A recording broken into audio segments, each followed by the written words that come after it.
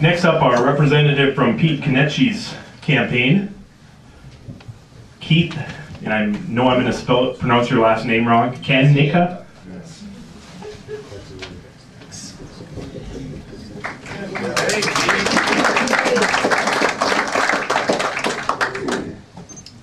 Thank you.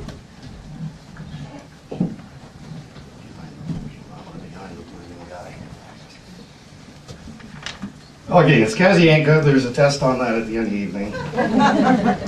Uh, Not a lot of uh, time for political rhetoric. Instead, I've got a plan here that my, uh, my boss, my new boss, Pete Konetchy, running for US Senate, uh, his whole platform is right here in this, this little book. It's a, it's a pocket constitution, okay? Anything that's constitutional, you're gonna see Pete Konetchy support. Anything that's not constitutional, let's do away with it. Simple as that. Uh, A little bit about Pete, he's a businessman, he's never been a politician, he's never run for political office. Uh, He, as a matter of fact, it was kind of endearing when I first met him, we walked on his property, he has about 70 acres down in Roscommon.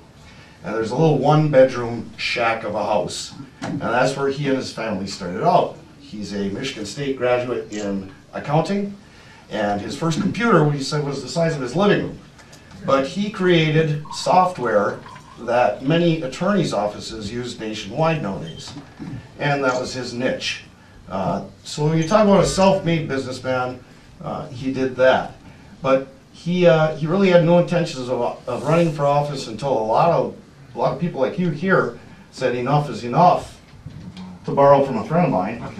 And uh, we gotta change this thing. You know, basically, if, if the federal government were following the Constitution as written, we wouldn't be in any of the trouble that we're in now. Can you imagine, just, just uh, imagine, Monday morning, the EPA gets a pink slip, okay? Because there's nowhere in the Constitution that provides for the Environmental Protection Agency, okay?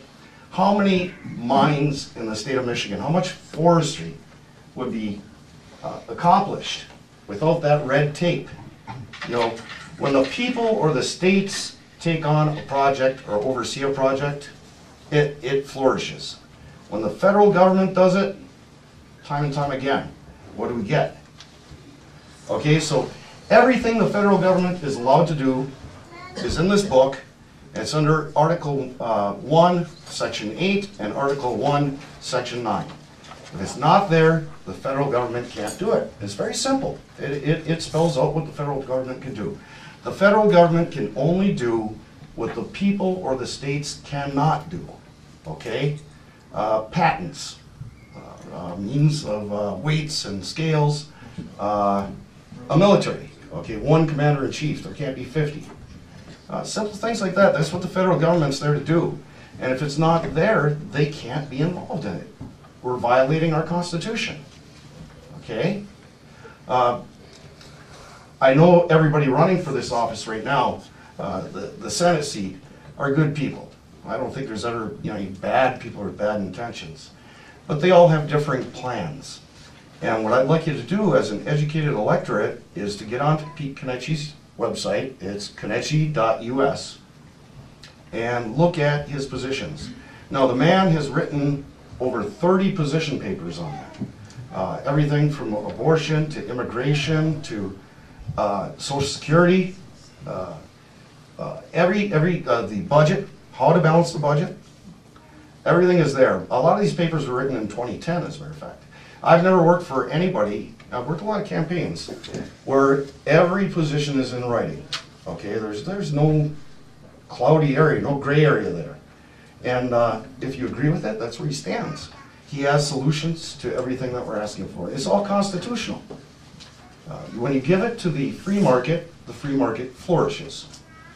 Okay, give you an example, is energy independence. You know, the United States has more oil than the OPEC countries combined uh, in the continental US. If we were allowed to have the free market drill that oil, not only would it be energy independent, and the price of gasoline would come down to whatever the fair market value is, because there'd be competition, there'd be many jobs, There'd be thirty billion dollars a month that we wouldn't be sending overseas to our enemies. And we could be an energy exporter, like Canada. You know, we could be the OPEC countries. Uh, things like that, that's, it's very simple. There's, there's nothing in the Constitution saying that the government has the right to have a Department of Energy. Uh, Department of Education. That department needs to go today, okay? All it has done is dumb down our people, our students. See, when you say something like, we're gonna take away your small arms, okay? We're gonna do away with the Second Amendment. This generation here is gonna fight them, and they know that. But if we can put things in the school books that are in the school books today, over generations, we'll have them softened up enough to where they feel that the United States is no different than any, any other country in the world. And that's what we're teaching our kids. Not that the United States is the greatest country in the world, because we're free, but no, we're, we're a one-world government, okay? We want our kids learning the same thing here as they do in Libya, okay? We don't want to teach math, science, history, real history.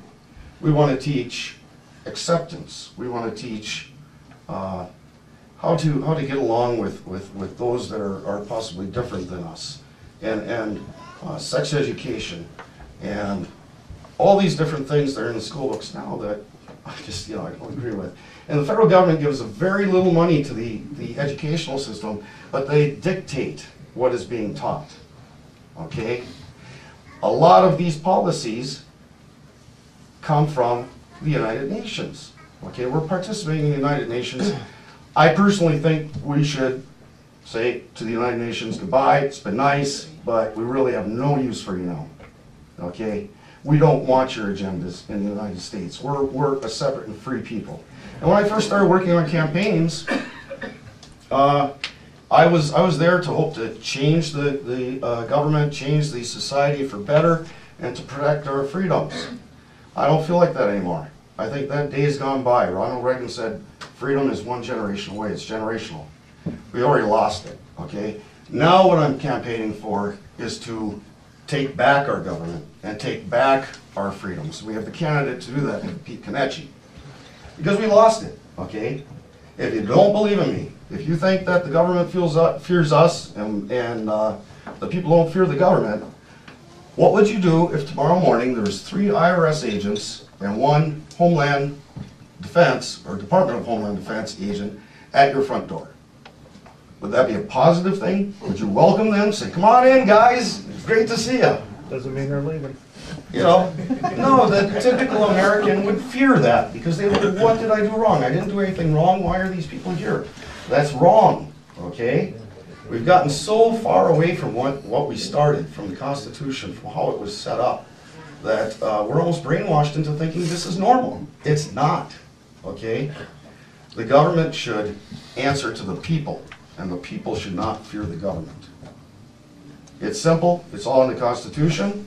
Uh, we have a guy that, uh, well, he's probably the most brilliant constitutional person I've ever met. I've never seen anybody stump him on anything. He has it in writing on his website. Please go to his website, or if you want materials mailed to you, I can certainly do that to you. Or do that for you, sorry.